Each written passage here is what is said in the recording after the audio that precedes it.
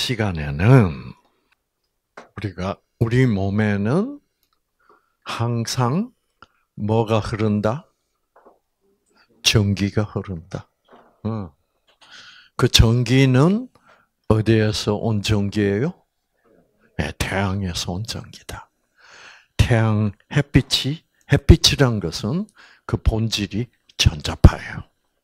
그 전자파가 식물에 ip수하기에 와서 아, 그 식물이 공기 중에서 받아들인 탄산가스에서 탄소를 취하고 그 다음에 뿌리에서 흡수한 물을 취해서 탄소와 물을 화합시키는 에너지로서 햇볕이 사용을 받아요.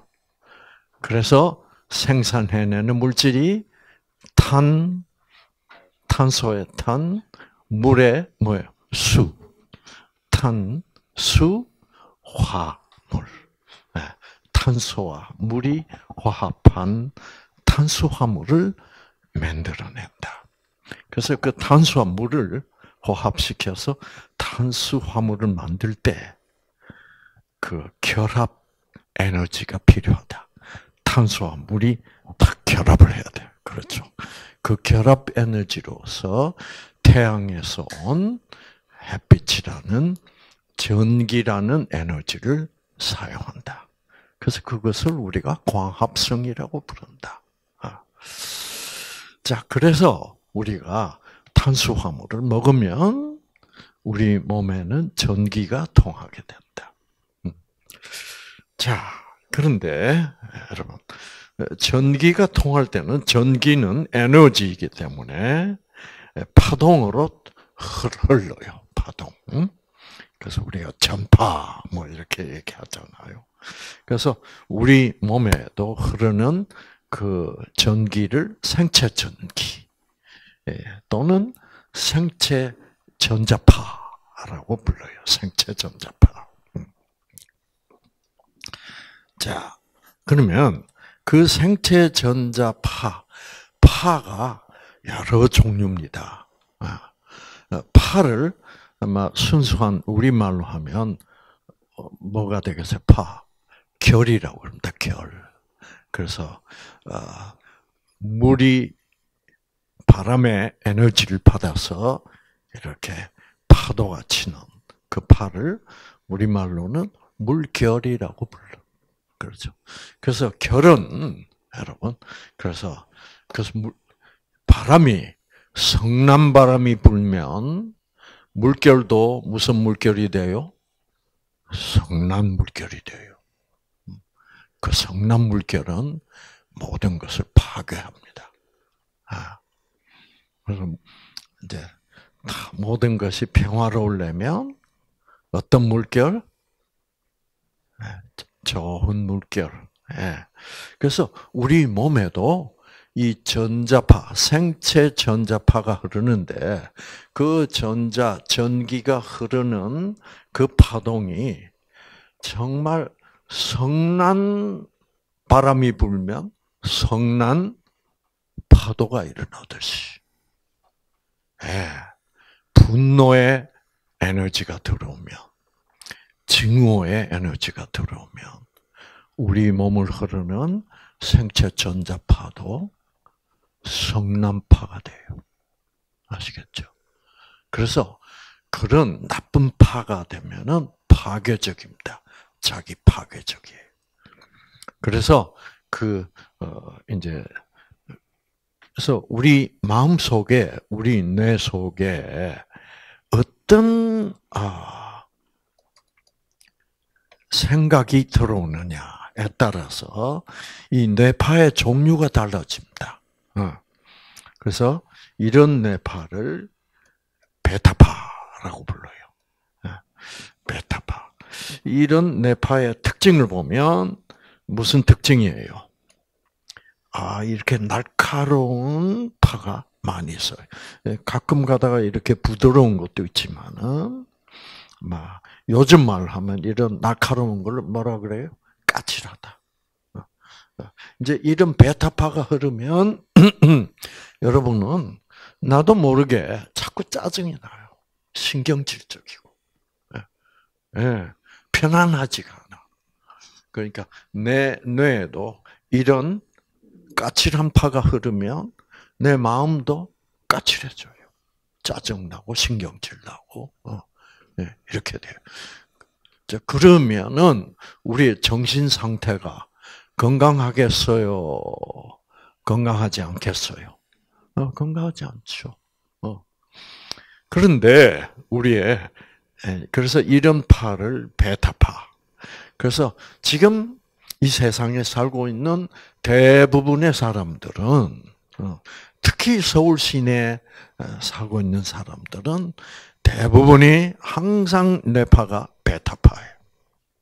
별로 건강한 파가 아니에요.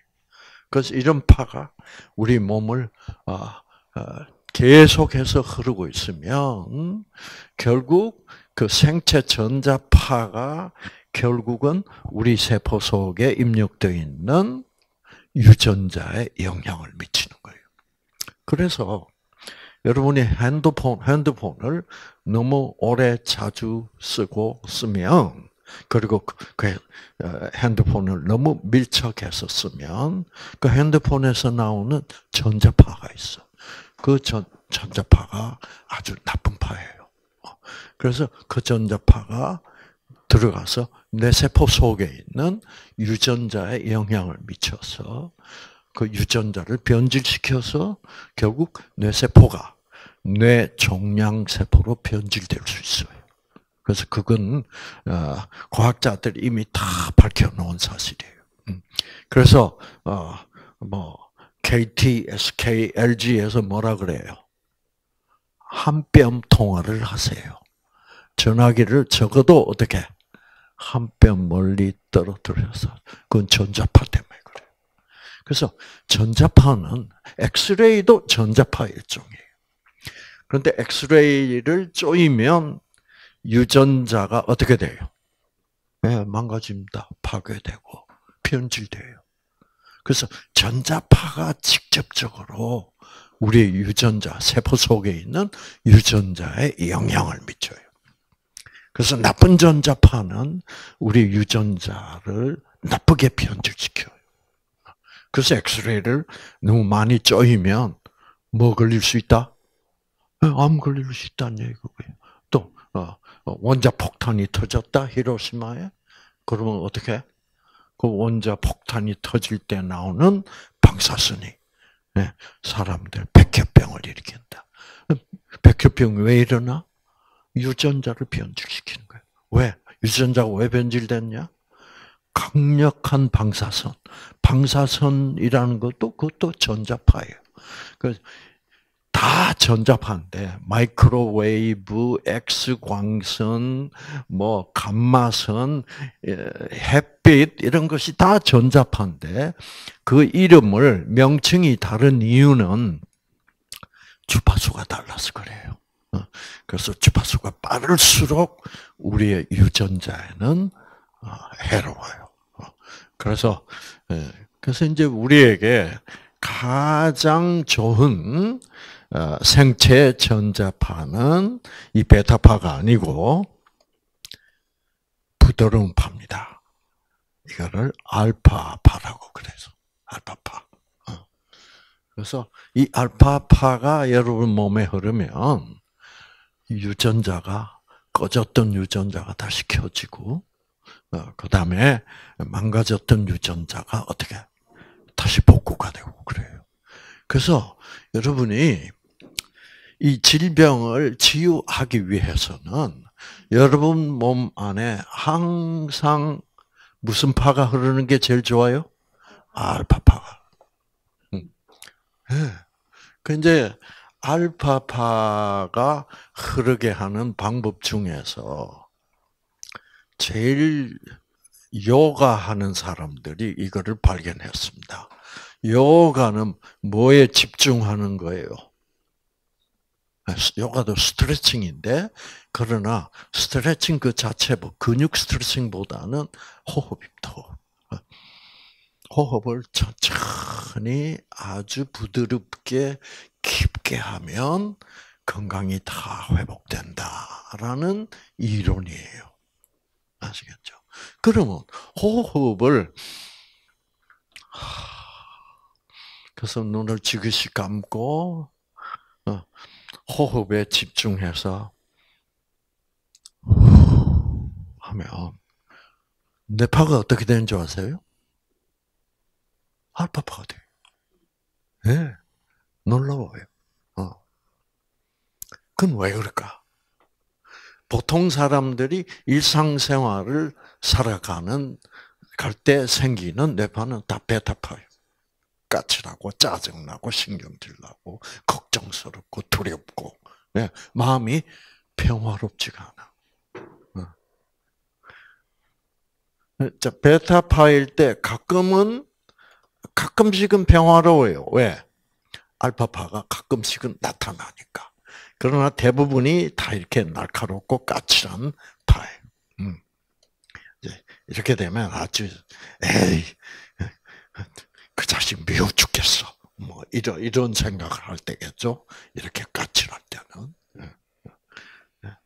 그러면서 여러분이 아, 아 그래서 이 심호흡이 참으로 건강에 좋다는 것은 내가 심호흡을 할 때 알파파가 되기 때문이에요. 음. 그래서 뉴스타트에서는 꼭 심호흡부터 아침에 시작하잖아요. 그렇죠? 어. 그래서 여러분이 일상생활을 이렇게 하시면서 아, 가능하면 이 호흡에 집중해서 심호흡을 하시게 되면 참으로 여러분 유전자의 회복에 좋아요. 음, 그렇죠?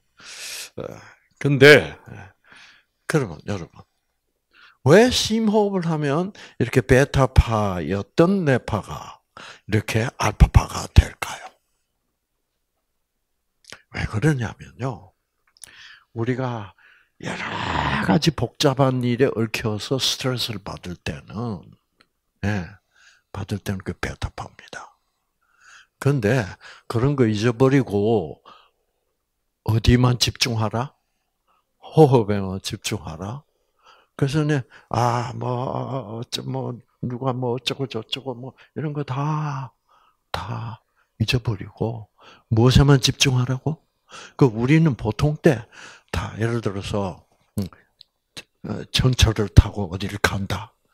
그러면 타고 서서 생각하는 게 다 잡념들입니다. 그래서 이 베타파를 잡념파라고 그래요. 베타파가 흐르면 다 잡념파. 어, 건강에는 별로 안 좋죠. 그런데 어. 이제 어, 그런 스트레스 때문에 고통을 많이 받는 사람들이 주로 요가 같은 거 하잖아요. 그렇죠. 그러면 그렇게 뭐 짜증나고 복잡한 골치 아픈 일 다 잊어버리고 무엇에만 집중하라? 그렇죠. 호흡에. 그래서 요가를 저도 옛날에 배워봤는데 네. 얼마나 호흡에 집중하라 그런지 알아요? 우리 콧구멍이 오른쪽 왼쪽 두 개 아닙니까? 그런데 그 요가 선생이 뭐라 그러냐면 자 이번에는 왼쪽 콧구멍으로만 호흡하세요 그래. 그건 불가능해요. 그만큼 집중하라는 거예요. 왼쪽으로만. 그만큼 호흡 자체에만 집중하려는 거죠. 음. 자, 그러면 그래서 그 호흡도 심호흡입니다. 그렇죠? 아, 심호흡이라는 것은 복식호흡. 음. 네, 배로 숨 쉰다. 아, 네. 보통 사람들이 호흡을 할 때는 복식호흡을 못 합니다. 네. 그냥 흉식호흡, 가슴만 이렇게 근데 진짜 호흡을 하면 폐가 확장하면서 우리 흉, 어, 흉곽, 가슴도 확장하지만은 더 폐를 확장, 폐 공기를 더 많이 흡입하면 폐가 확장이 되면서 어디까지도 눌러요? 횡경막. 그 횡경막도 배로 쭉 내려가게 돼요. 그러니까 배가 불러요. 어, 그래서 숨을 복식 호흡을 하면 배가 불러지는 거죠. 어, 그래서 그거를 복식 호흡이야. 그러니까 횡경막이 내려가서 배가 불러질 정도로 호흡을 하는 것이 그게 건강한 호흡이다 이 말이에요. 근데 여러분 스트레스가 많으면 사람들이 호흡을 잊어버려요. 그래서 우리가 아, 아, 뭐 조심조심 해야 되고 걱정해야 되고 그러면 호흡을 잘 해야 안 해요. 호흡을 멈춥니다. 가만히 있어봐. 가만히 있어봐. 아, 그 큰일이네. 호흡 안 해요. 네. 그렇죠. 그래서 이렇게 사는 것을 어떻게 산다 그래요? 숨 죽이고 거죠. 그 숨을 많이 죽여 우리는. 그러니까 숨을 죽이면 우리 뇌 산소 공급이 충분히 될까 안 될까? 안 돼요. 산소 공급이 안 되면 뇌가 스트레스를 느껴요. 그래서 베타파가 돼. 근데 심호흡을 시작하면 내가 갑자기 산소 공급을 어떻게 충분히 받게 되면 되니까 뇌가 스트레스가 풀려. 그러면서 알파파가 돼. 아시겠죠? 그래서 호흡이 중요합니다. 자, 그래서 보통 우리가 스트레스를 받으면 숨을 죽이게 되고, 그 다음에 스트레스가 너무 심하면 어떻게 살아요? 어떤 삶을 산다? 어떻게 살고 있다 그래요? 스트레스 막 맨날 스트레스야. 숨 막히게 산다 그러죠. 그래서 우리의 호흡과 이 스트레스는 우리의 정신 상태는 직결해요. 그래서 그런 거 다 잊어버리고 호흡에만 집중하라. 그러니까 심호흡을 하게 되고 그 스트레스는 잊어버리게 되고 그러면서 산소 공급이 충분해지면 알파파가 되고 이 알파파 전자파가 되면 이 좋은 생체 전자파이기 때문에 우리 유전자에 아주 좋은 영향을 끼쳐서 그래서 유전자 회복에 도움이 되고 그래서 심호흡이 참 중요하다겠죠. 그래서 여러분이 이제 앞으로 어, 산책을 할 때도 아, 아주 심호흡을 하면서 산책하는 습관을 길러야 돼. 그래서 이제 심호흡을 어떻게 하냐면 한 번 내쉬고 한 번 들이쉬고 보통 사람들이 이렇게 호흡을 해요. 아주 짧게 해요. 호흡을 숨을 쉬고 있는지 않는지도 모르면서 살아가. 호흡에 관심이 없어.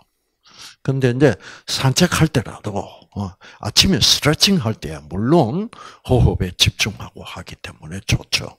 그런데 적어도 산책을 할 때는 어떻게 하냐면 음, 후, 후 내쉬는 것을 두 번 연달아 하라 이 말입니다. 후, 한 번 내쉬고 한 번 들이쉬고 후, 이렇게 하지 말고 후, 후, 칙칙, 푹, 푹. 그래서 두 번씩. 아, 그럼 기분이 좋아지고, 우리의 뇌파가 알파파가 돼. 아시겠죠? 여자들은 좀 힘들겠더라고요. 남자들보다. 왜? 산책하면서도 계속 계속 이렇게 해도 숨 쉴 여가 없어. 그래서 이제 좀 어,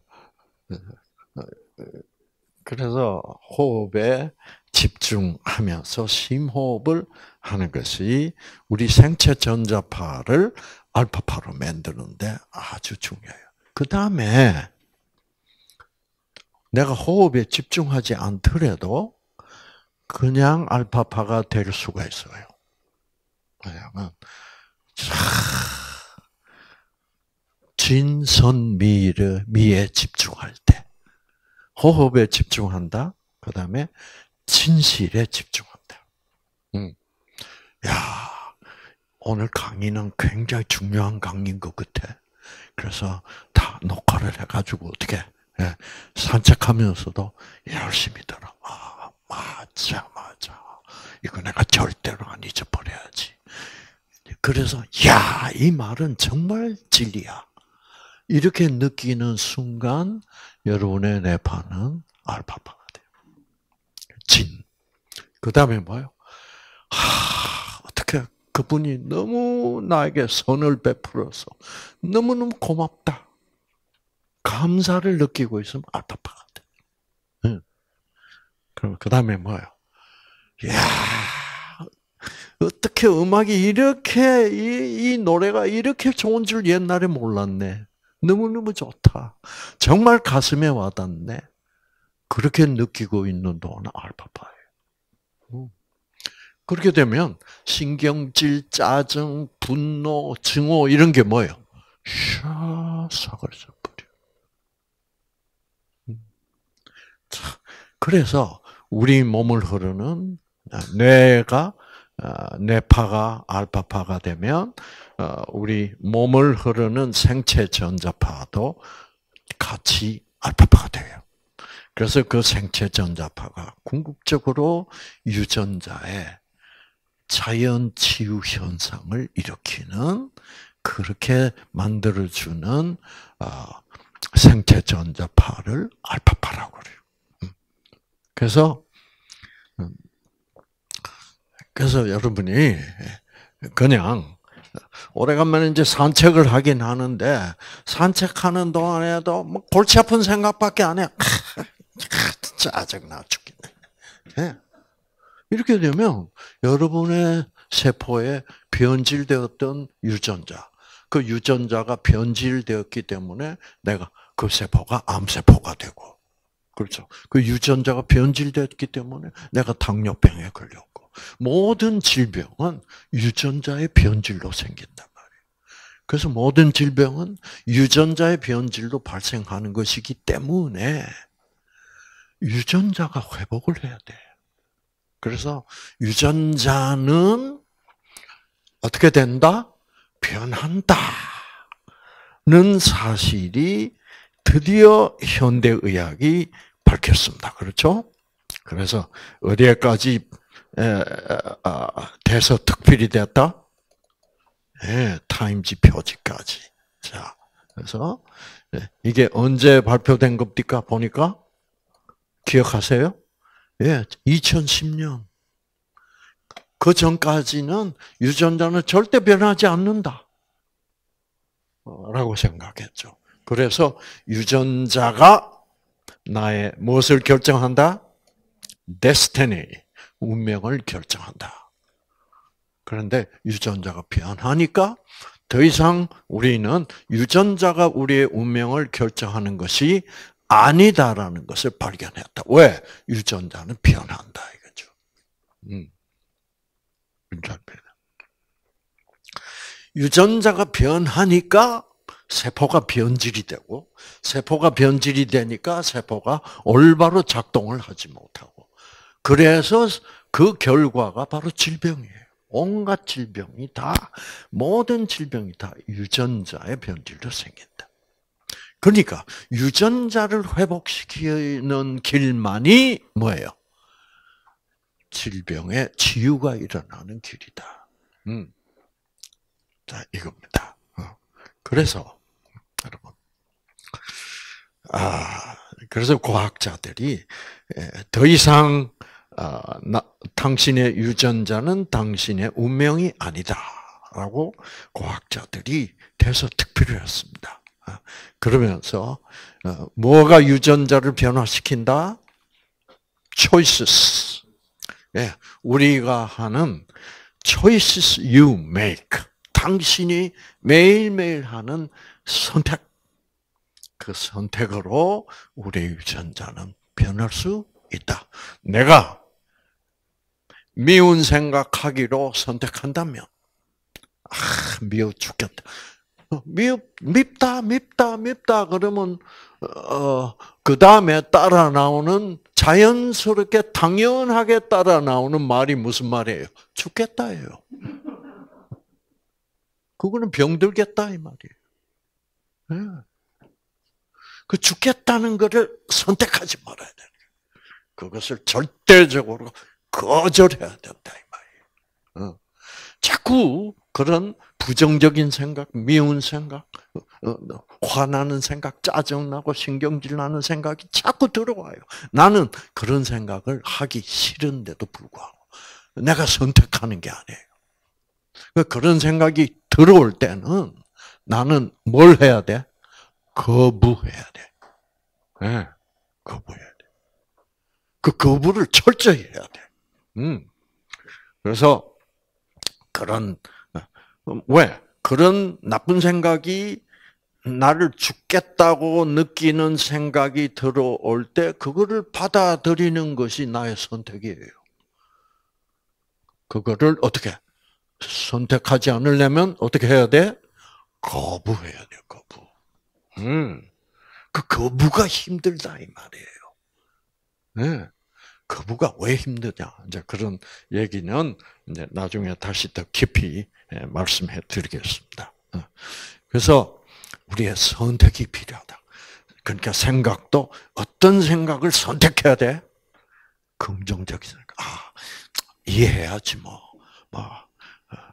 어, 그 사람도 그 친구도 그럴 그럴 상황이 있겠지 뭐. 어, 이러면서 가능하면 상대방을 감싸주고 용서해주고 이해해주고 하는 그 마음은 그런 마음은 우리가 상당히 노력을 해야 되는 거예요. 아시겠죠? 왜 노력이 필요할까?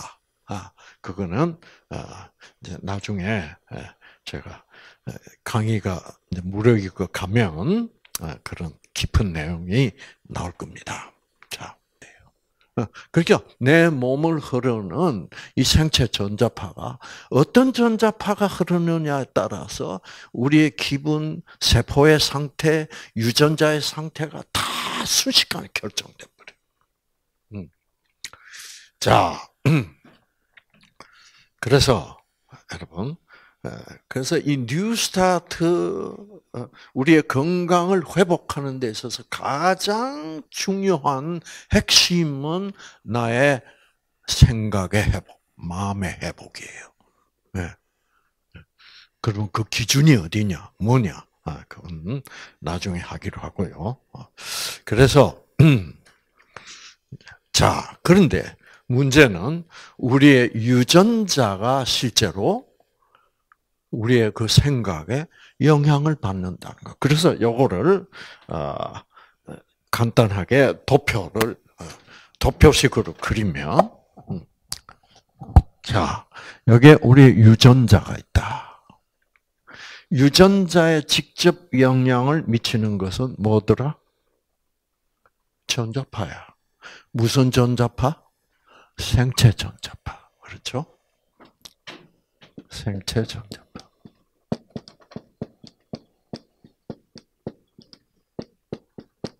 생체 전자파. 음. 생체 전자파는 무슨 파로부터 나온다? 뇌파로부터 나온다.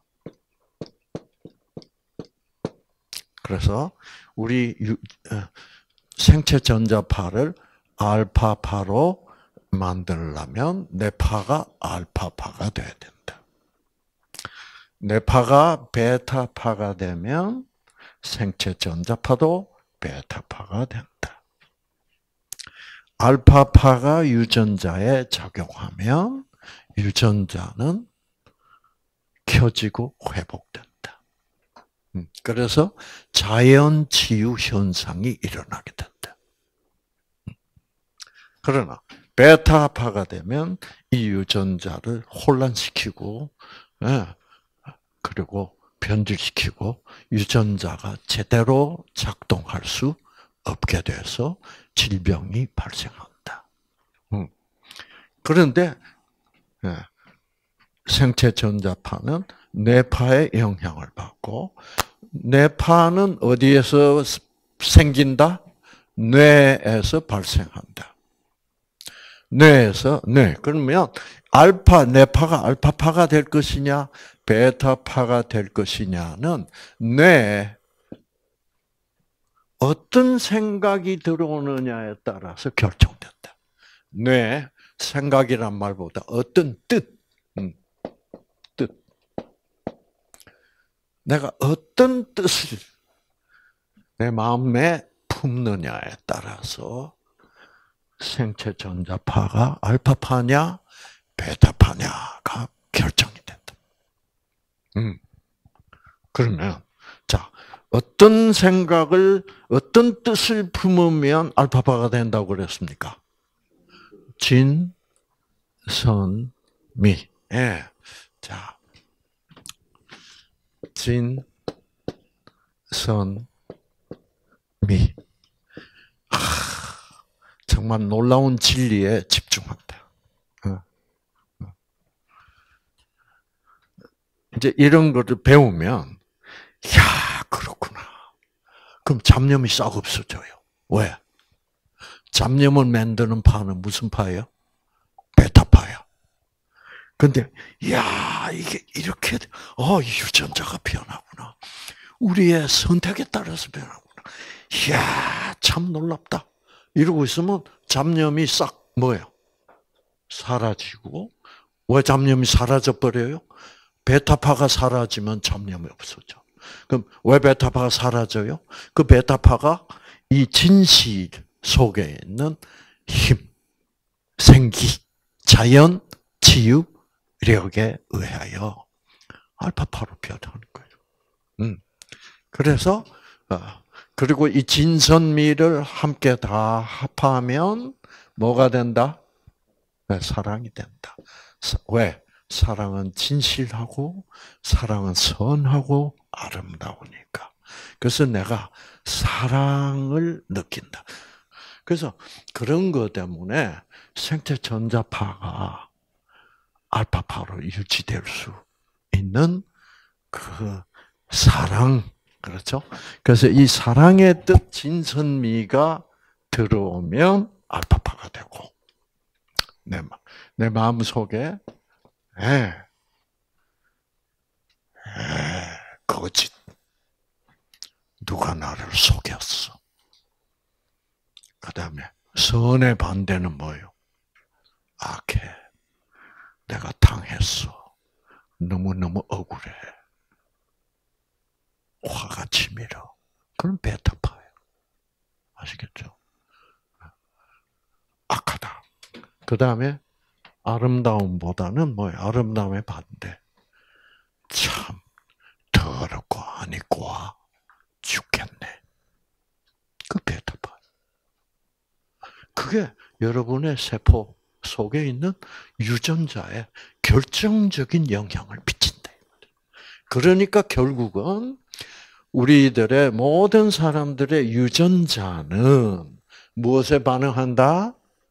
뜻에 반응한다. 그래서 우리 마음 속에 내가 품기로 한 뜻이 어떤 뜻이냐를 선택하는 것이 중요하다. 그러니까 과학자들이 여기서 뭐라 그래요? 어? 네. The choices you make. 그 선택, 당신이 하는 선택이 can change your genes. 당신의 유전자를 변화시킬 수 있다. 와, 이거는 옛날에는 꿈도 못 꾸던 얘기였어요. 어, 옛날에는 세포 속에 있는 유전자는 절대로 변할, 변할 일이 없다. 그렇게 우리가 배웠고, 가르치고 그랬어요. 근데 아니야. 이제는 우리의 선택에 따라서 유전자는 활발하게 변해요. 음. 참, 그래서, 음. 결국 내가 암 환자가 됐다. 하는 말은 내 유전자가 다시 정상 유전자로 어떻게 돌아가야 되는 사람이에요. 어. 그런데 현대의학에서는 이런 얘기를 지금 하지 않습니다. 왜? 첫째, 그 여기 보면 진선미 속에 있는 또는 사랑이 우리의 마음 속에 들어가면 그래서 우리가 사랑의 뜻을 품으면 내 파가 바뀐다는 것을 알아요. 그런데 문제는 왜 바뀌는지를 어떻게 설명을 못하니까 과학자들은 설명할 수 있어야 되거든. 아시겠죠? 그래야 그걸 받아들여요. 어. 그러면 여러분 이거를 과학적으로 내가 내가 속았다. 거짓 진실이 아니고 거짓이다. 거짓이 내 마음속이다. 자, 전화가 왔어. 그게 아니래. 응. 그래? 속았다고? 그러면 즉각적으로 내 뇌파가 바뀌어버려. 어. 여러분, 뇌파라는 것은 전기 에너지입니다. 그렇죠? 전기 에너지. 예. 전기 에너지가 변하려면 내 뇌 속에 흐르고 있는 뇌파가 변하려면 어떻게 해야 돼? 이런 것쯤은 해야 됩니다. 보면 정신과 의학에서 아, 이런 치료를 합니다. 마인드 우리의 마음과 그리고 매그네트 마그네트 한국식으로 발음하면 마그넷 마그넷이 뭐예요? 자석이에요, 자석. 자석으로 마음을 바꿀 수 있다. 음. 그래서 여기 읽어보면, 예. 실험적 치료법이 나왔다. 어, 어떤 환자를 위해서 예. 우울증 환자가 resist 어, 잘안 낫는다. 무슨 치료에 저항을 한다. 무슨 어떤 거? medication and shock therapy. 전기 쇼크 치료나 약물 치료에 듣지 않는 우울증 환자에게 놀라운 효과를 보여주는 치료가 뭐다? 자석 치료다. 여러분, 자석은 뭘 가지고 있어요? 자석은 눈에는 안 보이지만은 막 쇠붙이를 뭐요? 막 땡깁니다. 그렇죠? 자기를 가지고 있어. 자기. 전기, 자기. 얘들은 다 사촌간이에요. 어, 본질적으로는 같아요. 음. 근데, 어, 그래서 이, 어, 무슨 소리냐면, 이, 이, 이 사람이 우울증 환자입니다. 음. 환자인데, 예. 여기 이게 자석이에요. 그래서 여기서 자기 파가 나가고 있어. 어. 그런데 이 나가는 자기 파의 파장과 주파수와 파장을 이 컴퓨터로 조절할 수 있어요. 그래가지고 이제 자 우울증이다 하면 여러분 우울증이다 하면 뇌세포에서 뭐를 생산하는 유전자가 꺼져 있는 게 우울증이에요?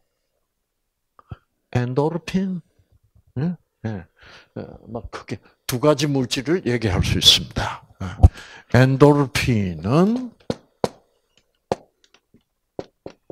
엔도르핀은 우리의 마음을 어떻게 기쁘게 해주는 물질이야. 그래서 우리의 뇌세포 속에는 엔도르핀을 생산하는 유전자가 있어. 자, 이게 이제 유전자인데, 이 엔도르핀 유전자, 엔도르핀을 생산하는 유전자를 이 노란색 유전자로 합시다. 이 유전자가 꺼져버린 사람은 엔도르핀을 생산을 못해요. 그러면 우울증이야. 그 다음에 엔도르핀 말고 또 세로토닌 이라는 물질을 생산하는 이런 연두색 유전자가 있어. 이게 작동을 하지 않고 꺼져버리면 세로토닌이 생산이 안 돼. 그게 우울증 환자예요. 세로토닌은 뭐를 하는 물질? 얘는 기쁘게 하는 물질이고, 얘 세로, 세로토닌은 마음을 편안하게 해주게. peace, 평안. 네. 엔도르핀은 joy, 기쁨. 음. 그래서, 그래서 우울증 환자의 특징은 뭐예요? 마음이 편안해요, 안 해요? 안 해요. 아무 일도 없는데 계속 불안해. 그게 세로토닌 유전자가 꺼져서 세로토닌이라는 물질이 충분히 생산되지 않기 때문에 그래요. 어. 왜 유전자가 꺼졌죠? 생기, 자연 치유력을 받지 못하고 기가 막힐 일이 너무 많아서 그렇죠. 음. 자, 그래서 그러면 우울증 환자가 나으려면 어떻게 돼야 돼? 그러니까 베타파가 참 너무 오래 지속적으로 베타파가 유지가 되면 이런 저물질 생산해내는 유전자가 다 꺼져버려요. 음. 그래서 어, 어, 마음이 항상 불안하고 어, 기쁨이 없어요. 어. 어. 자, 그러면 이제 이 유전자를 켜줘야 되겠죠? 켜줘야 주려면 어떻게 하면 돼요? 에, 아름다운 음악을 듣는다. 아, 아름답다. 그러면 엔도르핀 유전자 켜져. 왜? 알파파가 되니까. 음. 정확하죠, 그렇죠. 그런데 아, 시끄러운 잡업삽 소리가 들린다. 야, 그 시끄러, 신경질 나. 왜? 그 베타파가 됐기 때문에. 베타파가 그러면 신경질 나. 짜증나. 네. 베타파 자체가 까칠하니까. 자, 이런 우울증 환자를 약을 줘도 안 들어. 음. 야. 그러면 이제 이 자기 치료를 하는 거예요. 그래서 치료 원리가 뭐냐면 이 자석에서 자기 파가 나가 이렇게. 자, 이게 이제 환자의 뇌입니다. 뇌. 네. 뇌고 여기 환자의 눈, 귀, 코 이제 이렇게 되어 있죠.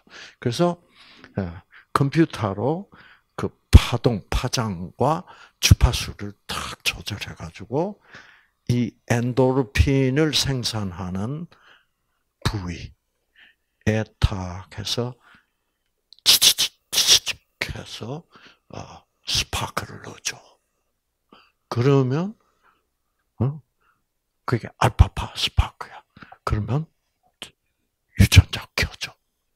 그러면서 마음이 기뻐지고, 어, 어, 어 마음이 편안해지고, 어, 그래가지고 15만 원 내면 돼.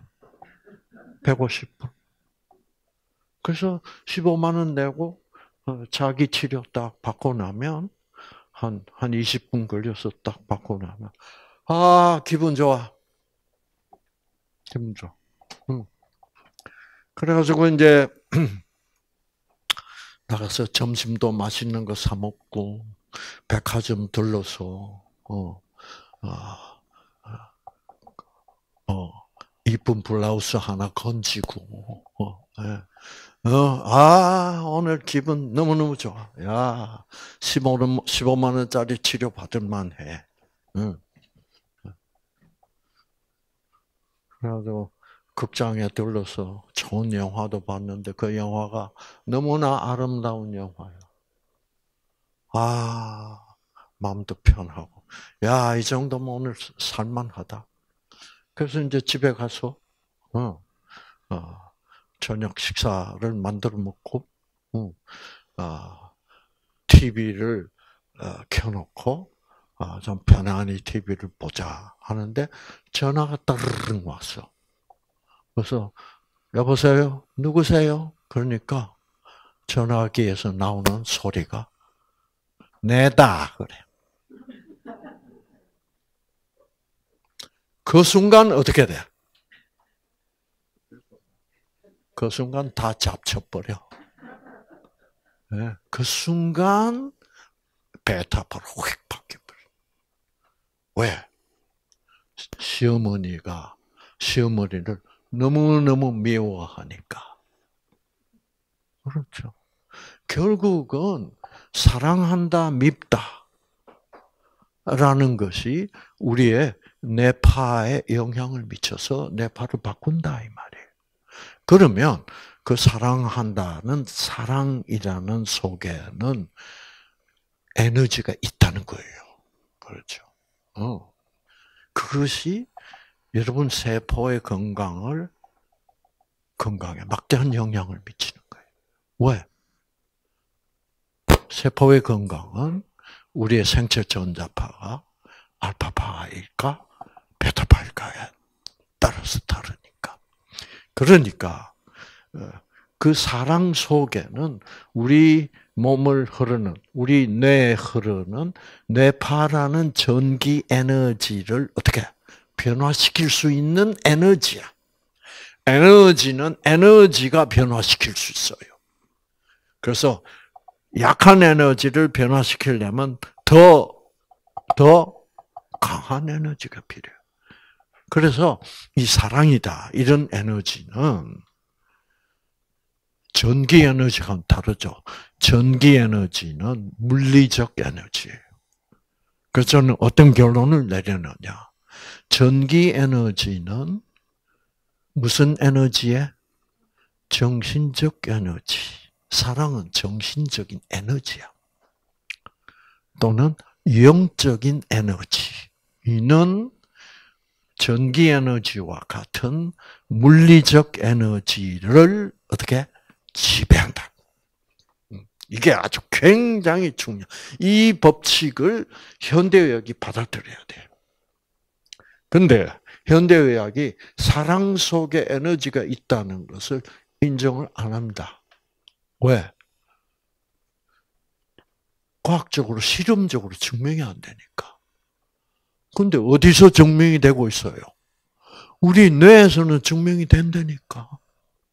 그래서 우리에게는 무슨 에너지가 필요하다? 영적 에너지가 필요하대요. 영적 에너지. 예. 그 영적 에너지 중에서 가장 강력한 영적 에너지가 사랑이에요.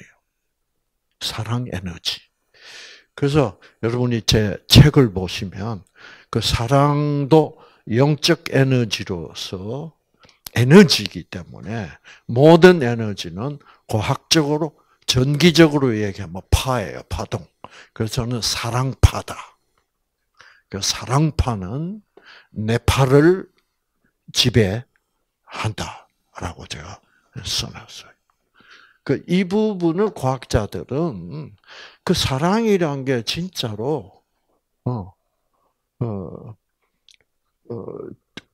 그 모든 의사들도 다 그거를 사랑이 자기의 뇌파를 바꿔서 어, 알파파로 만들 수 있기 때문에 사랑을 받으면 사랑을 주면 내 기분이 좋아진다는 것을 체험적으로는 다 해요. 그러나 문제는 그것을 과학적으로 수치를 낼 수가 없어. 그러니까 그걸 인정을 안 하는 거예요. 어. 그게 현대의학의 참 제가 의사로서 안타까운 점이에요. 음. 근데 그, 그, 이런 얘기는, 즉, 영적 에너지가 이 뇌파와 같은 물리적 에너지를 지배하고 변화시킬 수 있다. 라는 이게 이제 다 핵심인데, 이것이 여러분이 지금 하시는 뉴스타트의 핵심이에요. 어.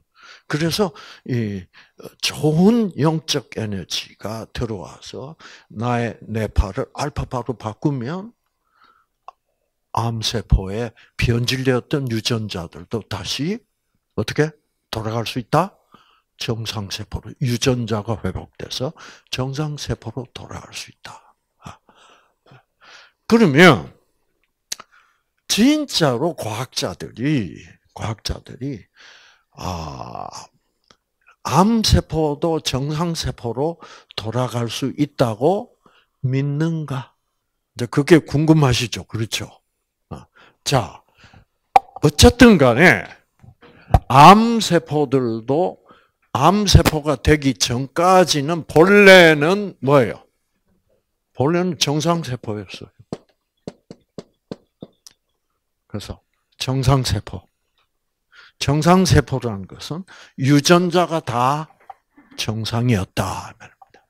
그런데 이 유전자가 유전자가 자가 변질이 돼서 그 결과 비정상 세포가 된 것이 이게 암세포예요. 자, 유전자는 변할 수 있어. 무엇에 따라서 알파파냐, 베타파냐를 선택함으로 말이야. 그렇죠. 그것은 나의 생각을 내가 부정적으로는 생각하지 말자. 어, 긍정적인 생각을 선택하자. 용서하기로, 이해하기로 선택하자. 어, 내가 비리비리한 강아지지만은 한번 사랑을 하기로 선택하자. 예. 그 위대한 사랑의 선택만큼 위대한 선택은 없어요. 선택하자. 음. 그래서 아 이제 그러면 유전자는 정상에서 비정상으로 변할 수도 있고 그렇기 때문에 유전자가 변할 수 있기 때문에 비정상적으로 변했던 유전자도 다시 어떻게 정상으로 돌아갈 수 있기 때문에 암 환자가 나을 수가 있는 거예요. 음, 아시겠죠? 자, 그러면 그래서 항암 치료를 할 때, 여러분, 어, 옛날에는 유전자가 변한다는 것을 몰랐어요. 유전자는 절대 변하지 않는다고 그랬으니까 암 세포를 죽이는 수밖에 없어. 그렇죠? 어. 유전자가 정상으로 돌아간다면 안 죽여도 암 세포가 정상 세포로 돌아갈 수 있다고 말할 수 있지요. 그러나 유전자가 변하지 않는다고 우기고 있을 때는 그런 생각할 수가 없는 거예요. 그러니까 암세포를 무조건 죽여야 된다. 그래서 그렇게 치료하는 항암제를 일반 항암제라고 그랬습니다. 죽이면 된다. 근데 문제는 이겁니다. 암세포를 죽이면 다른 정상세포도 같이 죽어. 특히 암세포를 죽이는 사명을 띤 T세포라는 그 중요한 면역세포까지 같이 죽여버려. 그러니까 면역력이 약해서 암에 걸렸는데 면역세포까지 또 죽이니 암세포를 죽이면서 동시에 면역세포까지 또 죽이니 암이 치유될 수가 없는 거예요. 왜? 암이 치유된다는 것은 내 면역력이 어떻게 다시 회복돼서 강해지면 그 면역력이 내 면역 세포가 암 항암 치료 안 해도 아무 부작용 없이 암 세포를 다 죽여서 암을 자연 치유할 수 있게 돼 있어. 음. 그런데 그 생각을 못 하는 거예요. 어. 자, 그래서 항암제가 많이 많이 여러 수백 종류가 개발이 됐을지라도 한 항암제도 노벨상을 받지 못했습니다. 왜? 면역력 파괴하는데 그게 무슨 약이냐? 왜? 암에 걸린 근본적인 원인부터가 뭐가 약해진 상태? 면역력이 약해진 상태니까 암, 암세포를 매일매일 생산되고 있는 암세포를 못 죽인 건데 그래서 암 환자가 된 건데 그래서 면역력이 약해서 암 환자가 됐는데도 불구하고 또 치료를 암 치료를 한다면서 면역력까지 또 파괴를 한다? 그건 말이 안 돼. 그거는 어, 치유란 건 있을 수 없고 뭐예요? 어, 치료 안 하면 뭐한 1년밖에 어, 못 사니까. 근데 치료를 하면 한 1년은 더 연장시킬 수 있다. 이런 게 항암 치료란 말이에요. 이 암이 이 치료 항암 치료하면 암이 낫는다고 하는 항암 치료는 없습니다. 그래서 어, 여러분 어, 그 제약교에서 암세포만 죽이는 항암제를 만들어야 돼. 그래서 만든 어, 만든 항암제가 무슨 항암제예요? 네, 표적 항암제. 네. 그 표적 항암제가 나왔을 때는 이제 암 정복했다. 그렇게 얘기들 했습니다. 얼마나 효력이 좋은지. 음. 근데 표적 항암제가 나온 지가 벌써 20년이 다 됐는데도 암은 정복되지 않았어. 암 환자는 더 늘어가고 있어. 왜 그럴까요? 금방 내성이 생겨버려요. 표적 항암제라는 건 뭐냐 하면 여러분 암세포들 우리 몸에 있는 모든 세포들은 각자 자기 자신의 신분을 밝히는 문패를 달아. 옛날 우리 한국에서 다 문패 달았습니다. 그렇죠? 그래서 문패를 달고 댕겨요. 그래서 나는 무슨 세포다? 그럼 세포들끼리 뭐, 아, 너는 무슨 세포구나? 다 아는 거야. 특히 T세포, 암세포 죽이는 그 면역 세포가 문패 검사를 합니다. 음. 그런데, 예. 그래서 이제, 예. 그런데 그 문패를 암세포가 달고 다니는데, 그래서 어, 표적 항암제를 만들려면 어떻게 해야 돼? 여러분의 암 암을 어떻게 조금 떼내야 돼. 떼내 가지고 문패가 어, 무슨 문패인지를 검사를 해야 돼. 그래서 그 문패를 문패를 단 세포들만 공격하는 항암제가 따로 있어. 그래서 문패를 달고 암세포들 신나게 댕기는데 아 어떤 물질이 와서 자기를 공격해. 근데 가만 보니까 뭐예요? 문패 이 문패 단 암세포만 공격을 해. 그러니까 암세포들도 살아남아야 되잖아요. 여러분, 농약처럼 똑같아요. 네. 아, 이 농약이 와서 우리를 죽이는구나. 그러면 어떻게 해요? 네.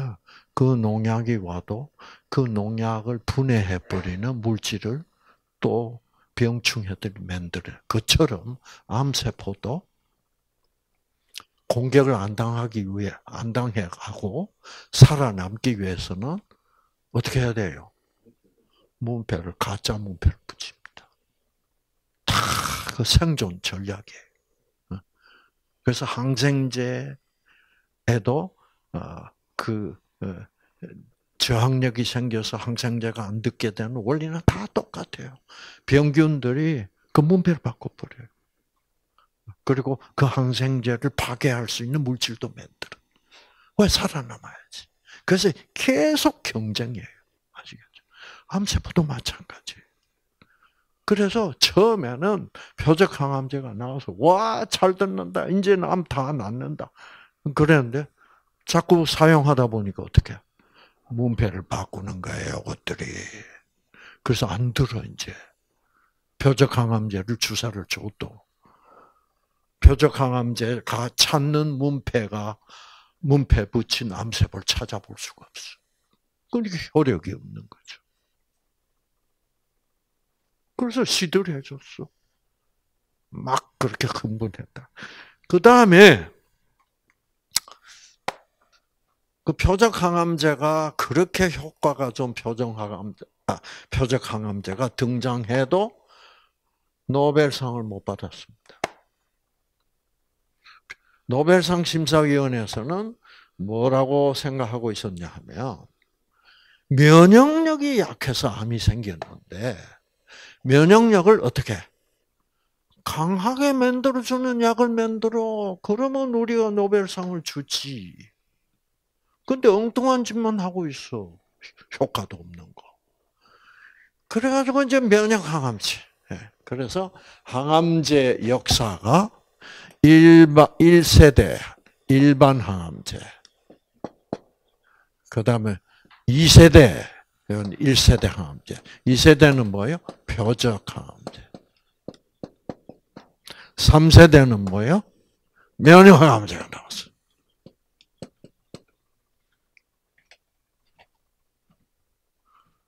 지금 면역항암제 나온 지가 한 15년 됐는데 인기 있어요, 없어요? 인기 없어. 처음에 나왔을 때 노벨상 줬다니까요. 야, 이 제약업계에서 드디어 면역력을 강화시키는 약을 만들었구나. 면역력을 진짜 이 면역 항암제가 진짜로 면역력을 강화시킨다면 진짜 진짜 좋은 약이죠. 그런데 면역 항암제를 먹어서 내 면역 세포가 진짜로 강해졌다? 그건 아니에요. 음. 그래서 면역 항암제를 잠깐 설명을 하면 자, 여기 보면 여기 노란 세포가 T 세포, 암 세포를 죽이는 T 세포고 그 다음에 이 이 갈색 세포가 암 세포예요. Cancer cell. 그렇죠. 그래서 암 세포가 뭐를 달고 댕깁니까? 이 문패를 달고 댕겨. 네. 그래서 이제 이 T 세포하고 암 세포하고 환자의 몸 속에서 만나면 이렇게 암 세포가 T 세포 보고 나는 암 세포입니다라고 자기의 신분을 밝혀요. 음. 자, 그렇게 신분을 밝히면 이 T세포가 건강하고 강할 때는 강하면은 암세포가 금방 알아차립니다. 아하, 이사, 이 T세포는 강하구나. 이 사람 몸 안에서는 내가 오래 버틸 수가 없구나. 아, 그래가지고 어떻게 하냐면, 아, 이 사람, 이 T세포는 너무 강하다. 이 사람은 면역력이 너무 강하다. 그러면 이 암세포가 자신이 없어가지고 여기다가 새로운 민원을 접수시킵니다. 요게 CD28이라는 민원 창구에. 그 이 민원은 뭐 하냐면, 당신은 면역력이 너무 강해서 나는 못 살겠다. 그러니 당신이 나를 어떻게 죽여 주세요. 라는 민원을 접수시켜. 그러면 어, 이 T세포 그럼 우리는 강해. 이 사람의 면역력은 아주 강해. 너 같은 암세포는 오래 버틸 수 없어. 그래, 잘 선택했다. 우리가, 내가 죽여줄게 해서 이 T세포가 이런 암세포 죽이는 이런 동글동글한 물질을 생산해서 암세포에게 주입시켜줘요. 그러면 암세포가 죽어버려. 그래서 여러분의 면역력이 본질적으로 강하면 다 이렇게 되게 돼 있어. 그래서 이 세상에 살고 있는 모든 사람의 몸에서 암세포가 매일매일 생길지라도 매일매일 모든 사람의 몸 안에서는 이렇게 T세포가 암세포를 죽여버려요. 그러니까 암 환자가 안 되지. 음. 그러나 여러분이 암 환자가 됐다는 얘기는 무슨 말이에요? 이런 현상이 안 일어나게 됐다 이거죠. 이 세상에 태어나서 이렇게 매일매일 잘 암세포를 죽이던 사람이 이제는 못 죽이게 됐다. 그러니까 암세포가 탁 생겨서 보니까 아, 이 사람은 면역력이 약해. 그러면 죽여달라고 민원을 청구를 할 필요가 있겠어요, 없겠어요? 없지. 그러면서 어 헤어지고 나면 우리는 우리대로 음, 암세포는 암세포대로 살고 암세포는 민원이 안 들어오니까 뭐예요? 안 죽여. 또 죽일 힘도 없고 없을 만큼 면역세포도 약해져 있고. 그러면 대개 이제 암 환자들은 옛날에는 암세포가 생기는 쪽쪽 이런 식으로 다 죽였어. 근데 지금은 안 죽여. 왜? 면역력이 약해졌으니까. 건강 상태가 약해졌으니까. 그죠? 생체, 어, 어, 자연 치유력, 생기를 받지 못하고 있으니까. 음. 자, 그래서 과학자 면역 항암제라는 게 뭔지 아세요? 뭐냐면 이 B7이라는 민원 서류입니다. 이 민원 서류는 뭐 해달라는 민원, 어, 민원 서류야? 죽여달라는 거예요. 그 과학자들이 어떻게 생각해요? 하하. 지금 이 환자의 환자의 상 어, 어, 면역 세포의 상태가 안 좋기 때문에 이 환자의 몸 속에 있는 암세포들은 자신만만하구나. 그래서 민원 서류를 안 만들어서, 안 만들고 접수도 안 시켜. 제약회사에서 요거를 알았다, 이 말이에요. 그러면 대박을 쳐야지, 그렇죠. 놀라운 약을 하나 만들어내야 될 거 아니에요. 그러면 그 암세포를 안 죽이고 있는 이 환자의 T세포로 하여금 암세포를 죽이도록 하기 위해서는 어떻게 하면 될까? 예, 본래 암세포는 민원을 제출 안 해. 왜? 이 런 사람의 몸 안에서 내가 오래오래 살아갈 수 있다라고 자신만만하기 때문에. 예. 그러면 그럼 제약회사에서는 어떤 아이디어를 낼까? 요 민원 서류를 어떻게? 암세포가 요 민원 서류를 만들어 가지고 여기 제출을 해야 되는데 하면 죽어 죽일 수 있어. 그러니까 제약회사에서는 큰 머리 좋은 영리한 과학자들이 무슨 생각을 하게? 민원 서류를 위조해 보자. 그래서 이것도 B7이라는 화학 물질입니다. 이 물질을 이 비슷하게 만들어서 주사를 줘요. 그러면 어, 환자의 아주 피곤하고 약해진 여기다가 어 민원이 접수됐네. 암세포가 죽여달래네. 그래서 T세포가 속았어. 네. 위조 민원 서류를 접수해가지고 T세포가 깜빡 속아가지고 어, 어, 죽여야 되겠네. 죽이려고 하다 보니 자기 능력이 안 돼. 그렇죠? 그래서 어떤 경우에는 실제로 한동안은 이 T세포가 막 죽여. 어.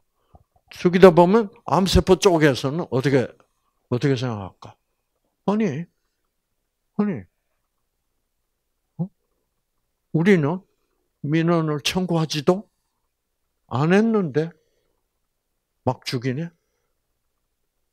그러다가 환자의 T세포는 지쳐서 더 이상 안 죽여.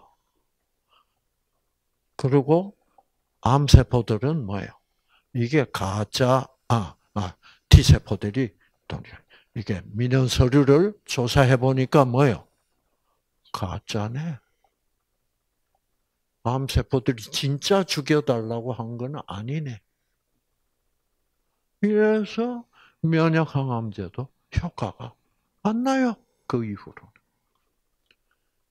그러니까 이거는 정직한 방법이 아니야. 그렇죠? 정직한 방법은 뭐예요? 정직하게 T세포, 면역세포 강해지는 방법은 뭐예요? 그렇죠. 자연 치유력을 받고 뉴스타트를 하면 실제로 강해져. 그러면 암세포들이 보고, 야, T세포들이 훨씬 더 강해졌구나. 그럼 우리는 앞으로 여기 이 사람 몸 안에서는 살아가야 될 희망이 있어 없어?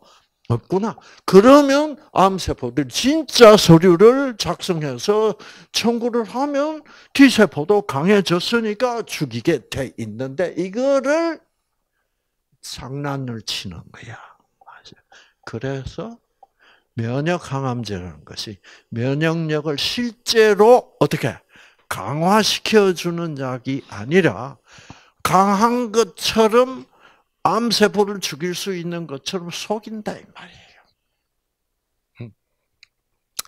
그래서 이 3세대 면역 항암제도 막 이제 아, 암 치료계에서는 아이고 이것도 희망이 없구나.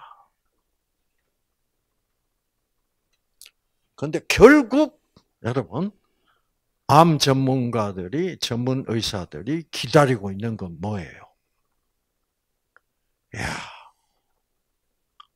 암 세포를 정상 세포로 어떻게 돌아가게 할 수 있는 약이 있으면 좋겠다.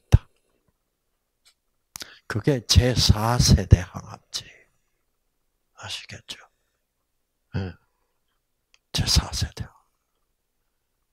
그 약을 지금 예, 한국의 카이스트를 중심 과학자들을 주축을 해서 지금 활발하게 그 4세대 항암제를 개발 중에 있습니다.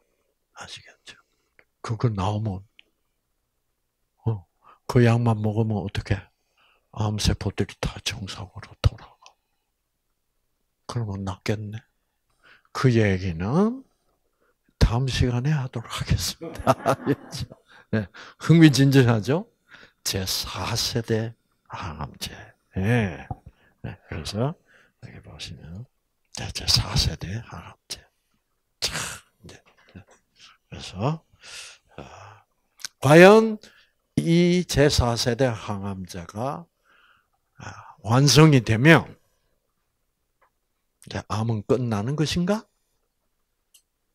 음, 한번 흥미진진한 질문을 던져놓고 우리가 내일 아침 강의 때 상세히 말씀드리기로 하겠습니다. 아시겠죠?